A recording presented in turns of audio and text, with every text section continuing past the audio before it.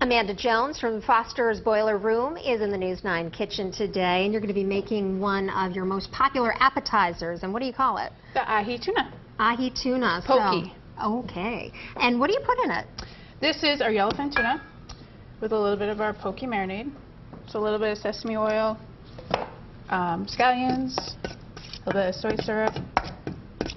And if Mix someone gets tuna at the grocery store, how can you be sure that it's, you know, really fresh so you can make this with it? Uh, well, usually if you go to the deli, you can get, um, you want special grade tuna to right. make sure that it's, you want to make sure it's really cold. Okay, all right. So this is our uh, sriracha aioli. And that just goes right on there. We should also All right. mention that Foster's does Thanksgiving, so if you hate to cook Thanksgiving, you can always go to Foster's because you do a buffet, right? Buffet is from 11 to 4 on Thanksgiving. And then also if you want to take it home with you, you do that as well. Yep, Thanksgiving to goes. You can pick them up the night before or the morning of Thanksgiving. That's wonderful for anyone that's not interested in cooking. They've done it for years and they're, yeah, I'm done with that. so what else goes on the plate here? So a little bit of guacamole, just for a little setting for our wonton crisp. And that goes right That there. yep. So a little bit of tuna in here. And what will you be serving up for Thanksgiving?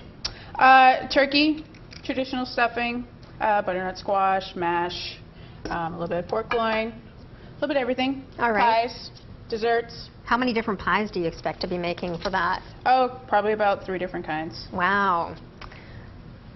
So these just kind of get piled up on one another? They do. It's a little poke stack All right. is what we call it.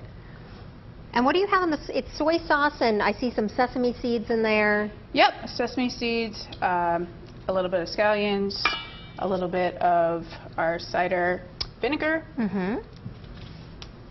And a little more guacamole to hold Yeah. it all together. So each chip gets the right amount. All you. Put it in your mouth. And that goes right on top. Okay. And tell us about some of the other specials that you have going on for uh, the fall at the, The fall? restaurant. Um, well, we don't really have too much going on right now. It's our slow season, but starting up on um, Christmas, we're going to start getting really busy again, and it should be a blast. All right. And you have macadamia nuts that go on top as well. And I see it's all plated right here, and you finish it off with some scallions. Um, when do people have to let you know if they're interested uh, or make reservations for Thanksgiving or to get those meals to go? Right now would be good because we are almost booked. Everybody in the Common Man is pretty close. All right. Well, thank you so much for coming in. We appreciate it. That looks beautiful. Thank you. And delicious. It smells great. And we'll be right back.